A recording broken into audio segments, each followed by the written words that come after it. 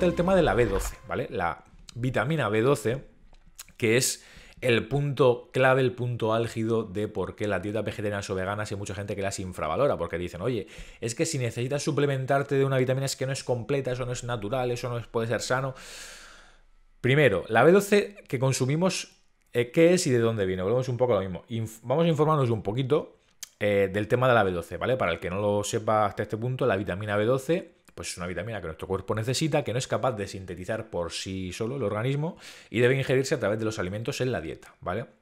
Esta vitamina, la recomendación oficial es que se suplemente tanto a vegetarianos como a veganos, ¿vale? Porque la vitamina B12 se encuentra en, en, alimentos de origen animal. Ahora veremos por qué. Porque eso no quiere decir que sea una vitamina de origen animal, sino que se encuentra en esos alimentos. Y os explicaré el por qué. Que eso también es una falacia muy recurrente. Eh, entonces, en vegetarianos, en veganos, perdón, está claro, porque no hay ningún consumo de origen animal, ni lácteos ni huevo. Y en vegetarianos, hasta hace no mucho, no se sabía muy bien si había que suplementar también o no. Pero la recomendación oficial es de hacerlo, porque eh, pues se ha visto los estudios, la evidencia eh, en los diferentes países, en los formatos de consumo, que no se adquiere la suficiente B12 a partir de la leche y los huevos, ¿vale? Entonces, por eso, la recomendación oficial es que se suplemente tanto veganos como vegetarianos. Ahora mismo la dosis es unos 2.000 microgramos de cianocobalamina, que es el tipo de B12 mm, que se absorbe más fácilmente.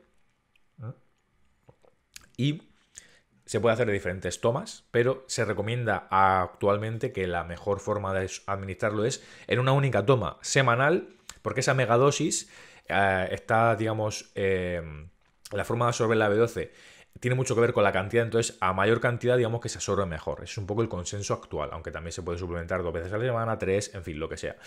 Eh, partiendo de esa base, como la gente vegetariana y vegana tiene que suplementarse B12 y la omnívora no, aunque habría que ver la gente omnívora que critica eso, cómo come, porque probablemente aunque tú te alimentes también a base de carne, si comes fatal, tendrán muchos déficits de otros micronutrientes, de vitaminas y de minerales que ni siquiera sabes y eso nadie se preocupa por eso, ¿verdad? Como comes carne, pues no pasa nada. Eh, entonces, básicamente, esa es un poco la movida respecto a la B12. ¿Qué pasa? Que es que la B12, como decía, no es de origen animal. La B12 está en los animales, en los em, alimentos animales, pero su origen es bacteriano. O sea, la B12 se sintetiza por bacterias. ¿Qué pasa? Está en los animales porque eh, actualmente se suplementa a través del pienso. Eh, ya podemos entrar en si se suplementa directamente o no. bueno, no es que se suplemente directamente, sino que se facilitan algunos precursores en, en el pienso también hay un tema de inyección directa de DB12, pero si no recuerdo mal, es únicamente en animales rumiantes que no pueden sintetizarla por sí solos, entonces como un chute que se, se, mm, aporta directamente, pero bueno, yo creo que podemos decir que se suplementa la B12 en el pienso de forma genérica, aunque realmente no es B12. En algunos casos lo que se suplementa es un, pues un precursor, como puede ser el, cobalto, eh, porque los rumiantes, los herbívoros, la sintetizan dentro de, su, de sus estómagos, de sus movidas ahí del rumen, y de, su, sistema digestivo. Eh, sintetizan esa B12 y luego pasa a la carne y por eso los animales tienen B12 algunos en su, en su interior. Pero a modo general, eso antes era más fácil cuando los, los animales comían del campo directamente, del suelo, se alimentaban a base de esas bacterias, de la hierba, del pasto.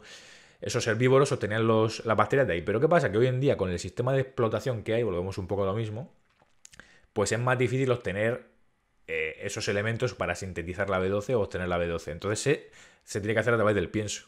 Por eso resulta gracioso, paradójico o irónico que la gente que critica a los veganos y a los vegetarianos porque necesitan suplementarse B12 no saben que realmente también se suplementa la carne que se están comiendo cuando son animales antes de matarlos.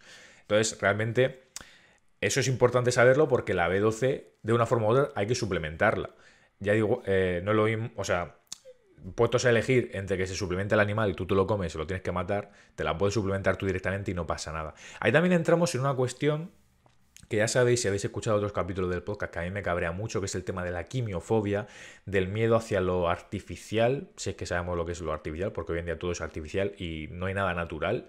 Eh, esa falacia ¿no? naturalista de lo natural es mejor que lo artificial que vemos en todos sitios, en el etiquetado, en estas formas de pensar incluso, porque al final no, no, es que si tengo que suplementar, tomarme una pastilla, eso no puede ser bueno. Mira, es una vitamina que se ha extraído de forma artificial en el laboratorio, pero tiene la misma utilidad que si te la comes directamente de la carne. Una vitamina es una vitamina independientemente de su origen.